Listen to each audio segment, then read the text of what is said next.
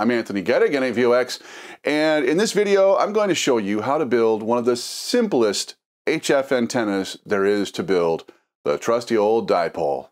Now my configuration is going to be more of a, um, what we call an inverted V, just because of where I need to put it, and you'll see that when we go outside to put it up, but really, uh, I'm going to be using one of these things. I got this at R&L. It's just a uh, very simple um, coax goes in here, and then Wires go on either side. There you go. And then I'm also going to use for the wire, I picked this up at Walmart today, super cheap speaker wire. I think this was like 15 bucks for 50 feet.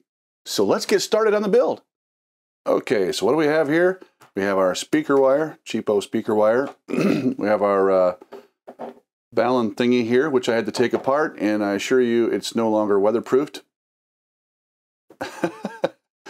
Uh, it's okay. For my purposes, uh, for this, it'll be fine where I'm going to put it. so, got this. I had to tighten up these on the inside and just, yeah. Anyways, uh, these are pretty inexpensive. I think I got this at R&L for, I don't know, 15, 20 bucks, something like that. Uh, we got a couple of uh, nuts that go on top of there. Got some ring terminals here, crimper, we're to need a couple of these dog bone things outside. So first thing we want to do is uh, cut our wire to length and then attach them to here. So let's do that first. Okay, well, the first thing I'm to do is open up a new web browser, and I'm just going to search Google for um, dipole calculator. There we go. And move that out of the way. Let's see here. I've looked at a few of these uh, before. The West Mountain Radio one is pretty straightforward. So let's go to that one.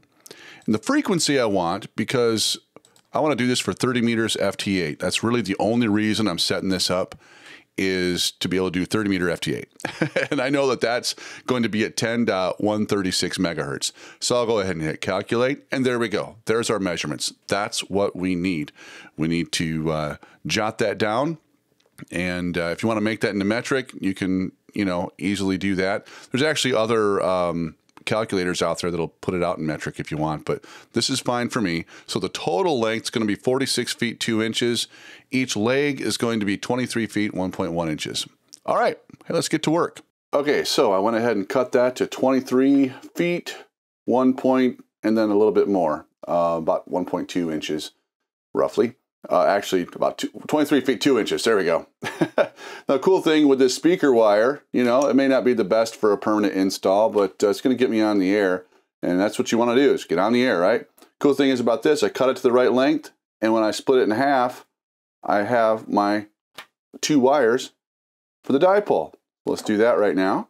And there we go, through the magic of editing, it's all done. So now, what I want to do is strip these ends and put the uh, ring terminals on.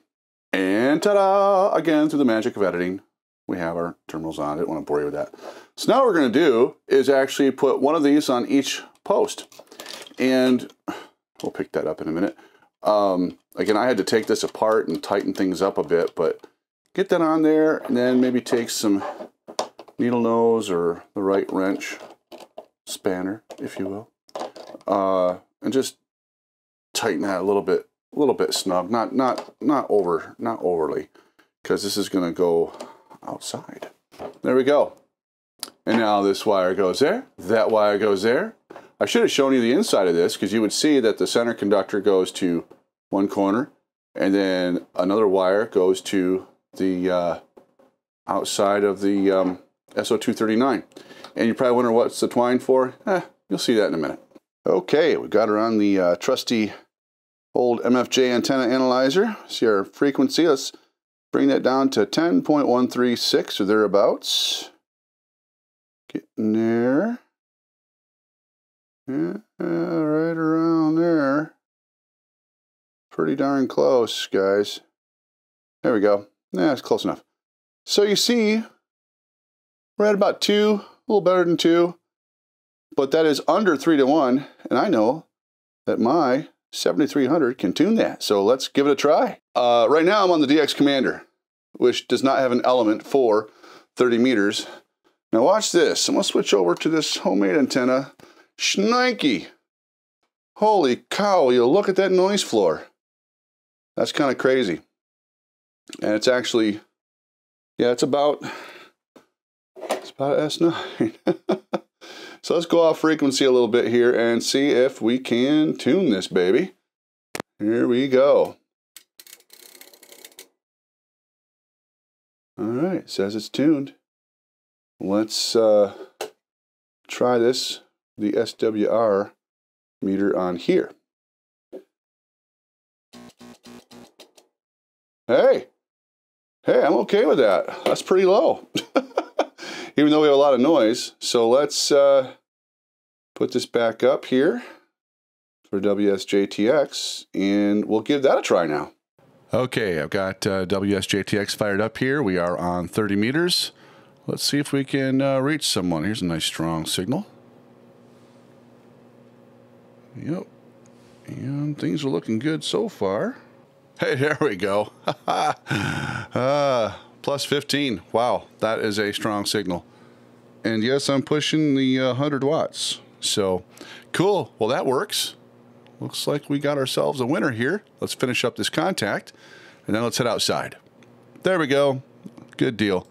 We will save that and hey, let's head outside and see it actually deployed.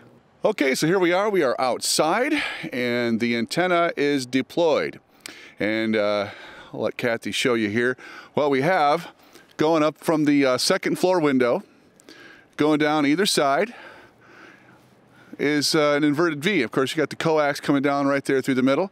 Up at the top, you see the uh, little balun thingy there. And then uh, Kathy, come on over here. You see all I did was just put this, tied this up to these little dog bone things here, a little bit of paracord, and I got the, these things were like two or three bucks at uh, Tractor Supply. Got them on each side. And this goes up and down and over. And uh, yeah, there you go.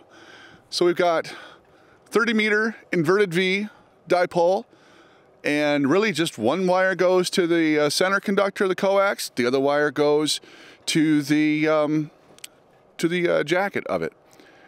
And believe it or not, it works. Two to one SWR, which is not perfect. Um, if I'd have paid a little closer attention to the length I was cutting everything, because I, I, had to use some of the wire to tie onto the dog bone, maybe be a little different. But you know what? I uh, 2.0 to, to 1 match, I can uh, I can work with that with my tuner and get a get a, get a good match. So there you go. What have we done? We built an inverted V dipole for 30 meters. I knew the frequency, cut the wire the way I wanted it to. Probably could have done a better job cutting it, but you know what? Two to one, I'm okay with that. I can tune it, as you saw, I can tune it with the tuner. And I'm back on 30 meters. And so, so why did I even do this? Well, when I when I made my DX Commander, uh, when I took the 30 meter element off and added 80 meters, well, I kind of missed 30 meters. and I'm only ever going to use the FT8 frequency, most likely. But uh, even so, I'm sure this would work for other stuff as well. The point I want to make with this video is this is a very easy, if not the easiest antenna to make yourself and to deploy. A very simple dipole. I have it set up in an inverted V configuration just because of the way my house is, but if I get the other ends up, I sure would. Anyways, I say that to say this. And Elmer told me once, if it will radiate, you can communicate. It may not be the prettiest thing in the world, but it's going to get me on the air on the band that I want to get on. Whatever it takes to get on the air. So until next time, I'm Anthony, N8VOX. Take care. God bless. 73.